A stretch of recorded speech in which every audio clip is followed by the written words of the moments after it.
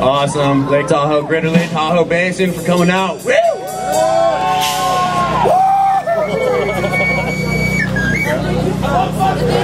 This song is about growing up in San Diego. It's called Beach Blunts.